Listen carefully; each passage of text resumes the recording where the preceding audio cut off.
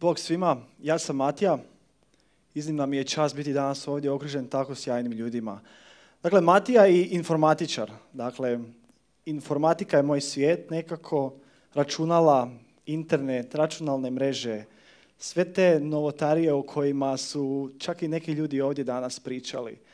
I Međutim, mnogi me ljudi smatraju pomalo neobičnim i čudnim, pogotovo to u zadnje vrijeme ovako dosta čujem. Zašto? Jer pokušavam spojiti pomalo dva nespojiva svijeta, a to je informatika i poljoprivreda.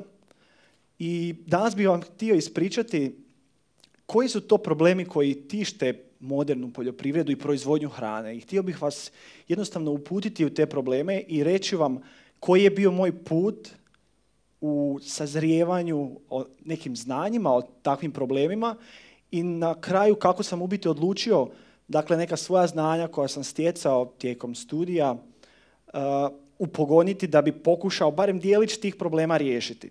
Dakle, ako ćete zapamtiti samo jednu stvar iz ovog mog izlaganja, to su ovako vrlo, vrlo poznate brojke, ali ja ću vas podsjetiti na to. Dakle, neke statistike kažu da će nas na ovome planetu biti oko 9 milijardi do 2040. godine. To je jedna vrlo velika brojka. Ja se naježim svaki put kada to pomislim. Zašto? Jer dugo pratim to područje.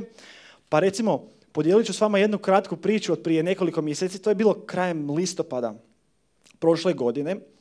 Pošto sam pratio taj, svaki dan u biti pratim taj porast broja stanovnika na kugli zemaljskoj i jednostavno kako sam se družio s tim ljudima na internetu koji su pratili taj porast populacije naše, došao je taj dan krajem listopada prošle godine kada smo trebali prijeći magičnu brojku od 7 milijardi. I ja se sjećam, ja sam se probudio to jutro i otišao sam na web gdje kao postoji taj neki brojač, kao neki counter. Sad on broji, sad se rodilo u ovoj sekundi 20 ljudi, 30, 50 i sad je on, taj brojač je išao, išao je prema 7 milijardi. Mene je hvatala malo nervoza. Zašto? Zato što sam razmišljao uvijek o tome kako puno ljudi danas nema nešto za jesti, za pojesti, kao što smo mi imali ovaj nevjerojatan ručak malo prije. I užasavala me ta brojka od 7 milijardi. I onda je ovoga brojač preskočio ti 7 milijardi i ja sam bio totalno užasnut jer sam se malo počeo brinuti pa kako, šta će ti sad ljudi jesti. I onda, sam, onda počinjem razmišljati o ovih 9 milijardi koji su još nevjerojatniji. Dakle, poanta, bit će nas jako puno. I već je sad velika gužva. E sad, dakle, ova brojka implicira da ćemo morati proizvesti dva do tri puta više hrane nego što proizvodimo sada, trenutačno. Dakle, naši farmeri, proizvođači hrane, morat će osigurati dva do tri puta više hrane 2040. nego što je to danas slučaj. Jer oko 78 milijuna novih usta svake godine se rađa, 78 novih milijuna usta za nahraniti. Dakle, to je jedna isto zastrašujuća brojka. Zašto? Zbog toga što poljoprivreda, proizvodnja hrane danas ne ide u korak sa porastom svjetske populacije.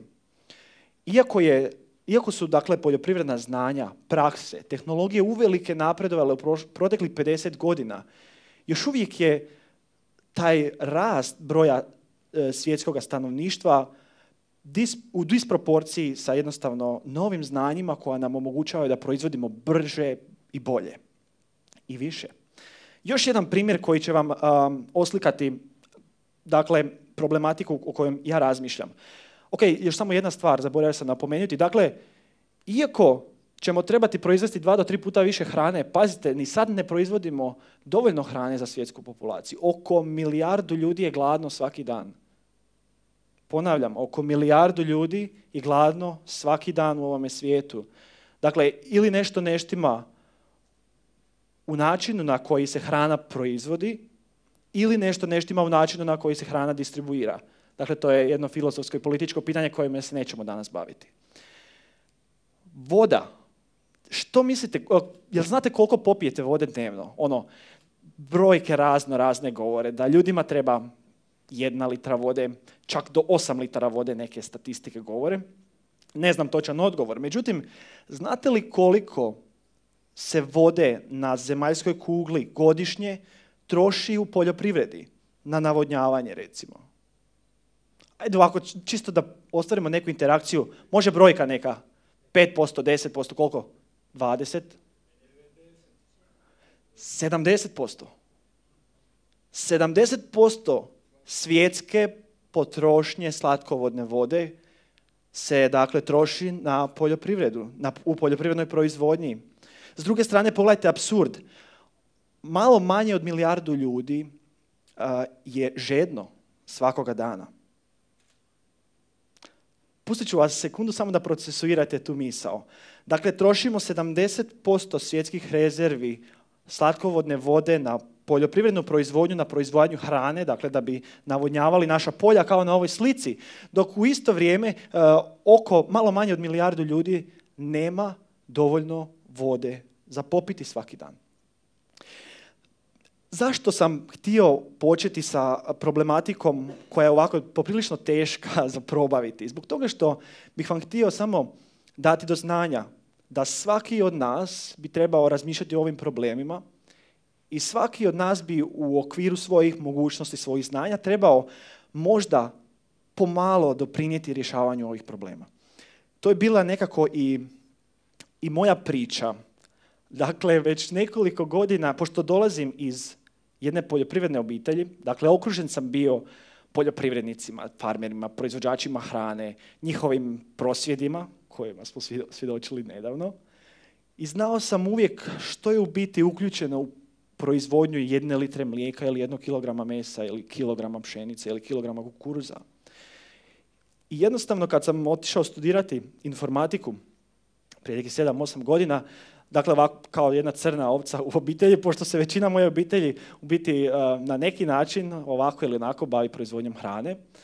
Jednostavno sam počeo promatrati ove probleme s kojima sam se susretao i probleme koje sam imao na toj farmi kod kuće i koje sam uči, od kojima sam učio od svojih poljoprivrednih prijatelja, počeo sam te probleme promatrati na drugi način. Dakle, recimo moj otac koji je radio u jednoj velikoj i danas radi u jednoj velikoj poljoprivrednoj tvrtki, uvijek je imao problema, i ima svoju farmu kod kuće, imao je problema sa upravljanjem proizvodnim podacima. Sa donošenjem dobrih odluka koje se temelje na tim podacima, sa optimizacijom proizvodnih resursa, što je mene jednostavno nagnalo da se, dakle, nakon završetka svojega studija i počnem aktivno baviti upravo rješavanjem problema o kojima sam pričao od početka, barem ovako iz jedne moje skromne pozicije, možda sam pretenciozno to mislio da ću moći riješiti puno toga odjednom, međutim to ide vrlo sporo. Dakle, htio sam spojiti ono o čemu sam učio, to je informatika, informatičke tehnologije, internetske tehnologije i probleme optimizacije poljoprivredne proizvodnje da bi mogli farmeri koji osiguravaju hranu za sve nas, da bi mogli proizvoditi brže, bolje, efikasnije i kvalitetnije. Danas ima negdje oko 164 milijuna farmi u svijetu koje su spojene na internet. Jeste li znali za taj podatak?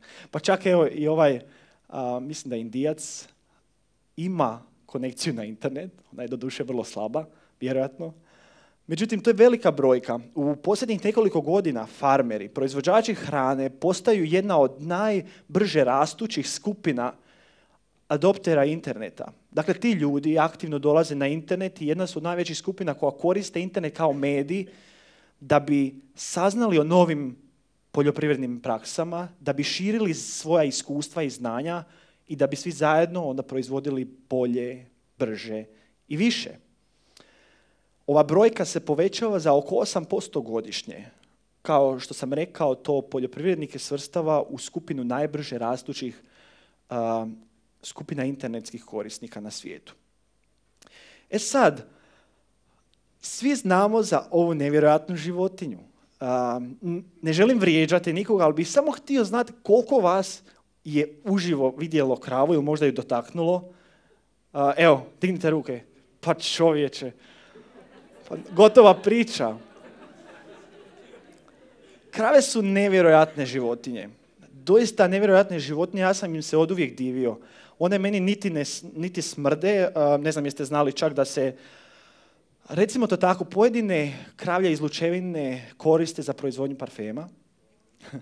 dakle, krava je jedan nevjerojatan biološki stroj koji proizvodi mlijeko, jedna nevjerojatna tvornica Proizvodnja mlijeka danas kao jedna specifična, vrlo uska vertikala unutar poljoprivrede općenito je najkompleksnija, dakle poljoprivredna djelatnost.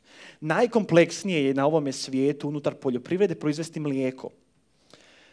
Dakle, zbog čega je to tako? Upravo zato što je krava jedan živi organizam. Ja ću vam sad ispričati kratko priču kako sam se ja upoznao sa kravama, sa procesom proizvodnje mlijeka i kako sam dakle zajedno sa proizvođačima mlijeka počeo raditi na optimizaciji e, njihovoga, njihove proizvodnje. Dakle, moj otac je znao neke poljoprivrednike, dakle on je ratar, dakle on proizvodi kukuruz, pšenicu, e, soju, dok neki njegovi prijatelji su bili proizvođači mlijeka i od uvijek sam ja se vrtio tamo po tim farmama i nešto kao gledao te krave. Međutim, onda sam dobio priliku u biti doslovce raditi sa jednim od tih velikih proizvođača mlijeka koji je imao problem, pazite sada ovo, sa, sa, sa upravljanjem svim proizvodnim podacima koji se generiraju na njegovoj farmi. Vrlo, vrlo konkretan primjer. Dakle, kad krava uđe na jednu farmu, morate vrlo dobro znati od kuda je došla, ko su joj roditelji. Da li je ikada bila bolesna, čime smo ju liječili. Dakle, to je jedan dataset, jedan skup podataka koji postoji na farmi, on tamo stoji negdje u računalu i neko upravlja time, time skupom podataka. Onda dolazi veterinar sa svojim nevjerojatnim procjenama zdravstvenog stanja životinje i on se brine o tome da su naše krave uvijek zdrave. I on dakle vodi taj svoj skup podataka negdje posebno opet za sebe. Onda dolazi neki tamo ekspert za ishranu životinja koji svaki dan provodi 8 sati dnevno smišljajući što bi taj perfektan recept, perfektan obrok za našu kravu mogao biti. Dakle, koji bi to, koja bi to kombinacija tih hranidbenih komponenta mogla u biti generirati najbolji proizvodni rezultat. Taj skup podataka postoji opet posebno za sebe negdje na trećoj strani. Onda dolazi neka muzačica, vjerojatno je to, u, većini slučajeva sam ja vidio da je to jedna gospođa koja dakle doslovce se brine o mužnji krava. Iz toga nekakvog stroja za mužnju izlaze opet podaci koji mjere koliko je ta krava proizvela, proizvela mlijeka. I svi ti skupovi podataka postoje ovako odvojeno i nepovezano na toj farmi i onda tom poljoprivredniku tom farmeru, vlasniku te farme ili nekakvom upravitelju je vrlo teško saznati koliko je baš ta krava ova na slici profitabilna njemu. Koliko se isplati nju držati, zato što je proces dolaska do tih nekih proizvodnih metrika koje ti ljudi moraju pratiti svakoga dana da bi saznali kako dobro oni posluju u biti je vrlo naporan i je jedan manualan posao. Ono što smo mi napravili je da smo sve ove odvojene skupove podataka spojili u jednu bazu podataka, smjestili smo ju na internet, u cloud i omogućili smo tome poljoprivredniku da u realnom vremenu dobiva dakle pravovremene informacije o tome kako dobro proizvodi, koje su mu proizvodne performanse, koje su ključne točke u poslovanju njegove farme koje je potrebno poboljšati. Dakle, da li je to možda promjena neke hranidbene komponente, pa da bi naša krava bolje proizvodila, ili je to možda korištenje nekoga drugoga lijeka jer se pokazalo da ta neka životinja bolje, bolje dakle, reagira na taj određeni lijek. Takve informacije smo mi tim ljudima omogućili da dobiju na dlanu ruke, na klik miša, pravovremeno da bi mogli na licu mjesta donositi odluke o tome kako optimizirati njihov proizvodni proces. Dakle, vrlo je vrlo važno i korisno tim poljoprivrednicima ovako na jednom ekranu, na jednoj formi vidjeti što se dešava sada na njihovoj farmi. To smo napravili za njih. Danas u svijetu internet na brojne druge načine mijenja.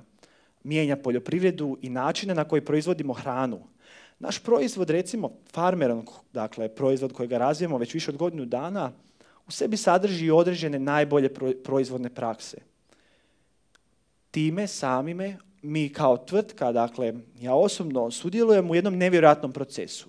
U procesu širenja znanja o tome kako možemo proizvoditi brže, bolje i više ljudima kojima ta znanja prije nisu bila dostupna u Novome Zelandu, u Južnoj Africi, u Brazilu.